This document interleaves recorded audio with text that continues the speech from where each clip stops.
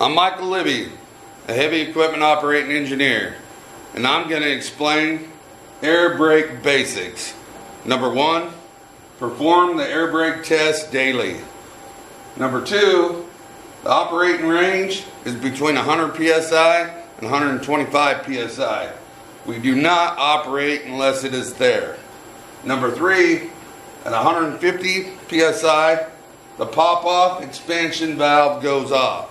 Number four, below 100 psi and about 60 psi, low pressure signals go on. Number five, we drain water and oil from the air tanks daily. Thank you.